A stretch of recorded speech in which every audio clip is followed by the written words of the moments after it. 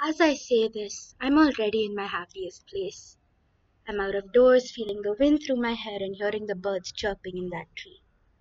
Um, this is my dog, Julie. It's hard to feel anything but peaceful and contented when she's sitting by me, isn't that girl?